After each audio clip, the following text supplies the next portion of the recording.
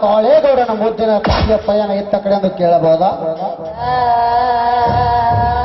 ಲಕ್ಷ್ಮೀಕಾಂತ್ ಅರಮನೆಯ ಸೌಂದರ್ಯವನ್ನು ಸವಿದು ತುಂಬಾ ಬೇಜಾರಾಗಿತ್ತು. ಹಾಗೆ ಹೊರಗಡೆ ಸುತ್ತಾಡ್ಕೊಂಡು ಬರೋಣ ಅಂತ ಬಂದೆ. ಅಂದ ಹಾಗೆ ತಾವು ವಿಷಯ? ಇದೇನು ಭವಾನಿ? ಈ ದಿನ ನಾಜುಕ್ನ ಪ್ರಶ್ನೆಗೆ ನಾನೇನೆಂದು ಉತ್ತರಿಸಲಿ?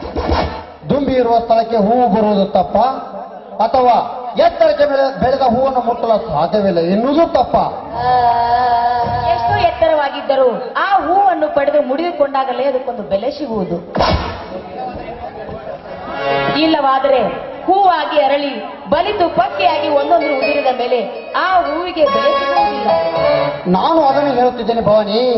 ಮೋಕಿನಂತೆ ಬೆಳೆದು ನಿಂತಿರುವ ಈ ಅರಮನೆ ಅರಗಿನಿಗೆ ಈ ರಾಜನ ಅವಶ್ಯಕತೆ ಇಲ್ಲವೇ? ನೋಡಿ ಲಕ್ಷ್ಮೀಕಾಂತ್ ನೀವು ನನ್ನ ಬಗ್ಗೆನೇ ವರ್ಣನೆ ಮಾಡ್ತಾ ಇದ್ದೀರಾ ಅಂತ ನನಗೆ ಚೆನ್ನಾಗಿ ಗೊತ್ತು. ಆದ್ರೆ ಈಗಾಗ್ಲೇ ನಾನು ಮನ್ಸಾರಿ ಒಬ್ಬರನ್ನ ಪ್ರೀತಿಸ್ತಾ ಇದ್ದೀನಿ. ಅದಕ್ಕಾಗಿ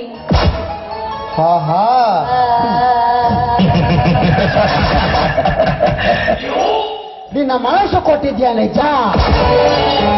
ಆದರೆ ನಿನ್ನ ದೇಹವನ್ನು ಕೊಟ್ಟಿಲ್ಲಲ್ಲ?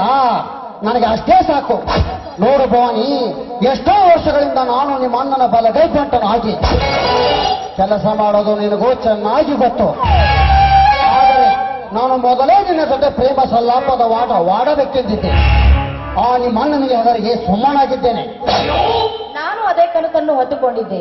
ದೀಪವಿಲ್ಲದ ದಾರಿಯಲ್ಲಿ ನಡಿಬಹುದು ಆದ್ರೆ ಕನಸುಗಳಿಲ್ಲದ ದಾರಿಯಲ್ಲಿ ನಡೆಯಲು ತುಂಬಾ ಸಾಧ್ಯವಿಲ್ಲ ಅಂತ ನನಗೆ ಚೆನ್ನಾಗಿ ಗೊತ್ತು.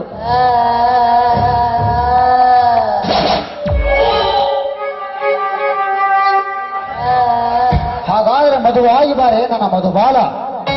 ಬಳ್ಳಿಯಂತೆ ಬಳುಕುತ್ತಿರುವ ನಿನ್ನ ದುಂಡುದೆಯ ಸೌಂದರ್ಯವನ್ನು ಕಂಡು ನನ್ನ ಮೈ ರೋಮಾಂಚನಗೊಂಡಿದೆ ಹೆಣ್ಣಿನ ಸೌಂದರ್ಯ ಬಯಸೋದು ತಪ್ಪಲ್ಲ. ಏಕೆಂದ್ರೆ ಹೆಣ್ಣಿಗೆ ಸೌಂದರ್ಯವಿಟ್ಟು ಆ ದೇವರು ಗಂಡಿಗೆ ಆಸೆಯನ್ನು ಇಟ್ಟಿರುತ್ತಾನೆ. ಹಾಗಂತ ಆಸೆಯನ್ನು ಬೆನ್ನು ಹತ್ತಿದರೆ ಆ ಆಸೆಗಳು ದೂರ ಆಗುವುದು ಸಹಜ. ಹಾಗಾದ್ರೆ ನಮ್ಮಿಬ್ಬರ ಪ್ರೇಮ ಪ್ರಕರಣ ಮಿಲನಗಳು ಇನ್ನು ಮುಂದೆ ಹೀಗಾಗಬಾರ್ದು ತಿಳಿತಾ? ನೋಡು ಚಿನ್ನ. ಮಧುವನ್ನು ಹೊತ್ತುಕೊಂಡು ದುಂಬಿ ಬರುವುದು ಸಹಜ. ಯಾಕೆ ಗೊತ್ತಾ? ಆ ದುಂಬಿಯುವ ಹೂವಿನ ಹತ್ರ ಹೋಗದಿದ್ದರೆ ಆ ಹೂವು ಬಾಡಿ ಹೋಗೋದು.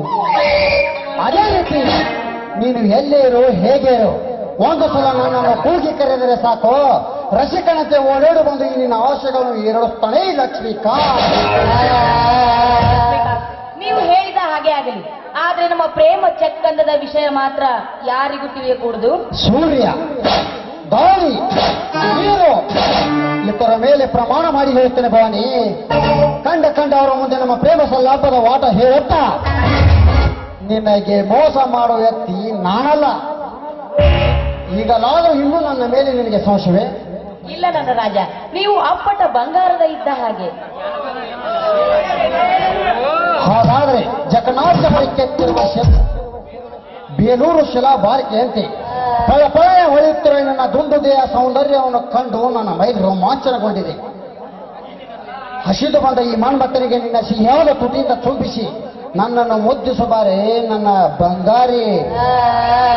ಆಗ್ಲಿ ನನ್ನ ರಾಜ.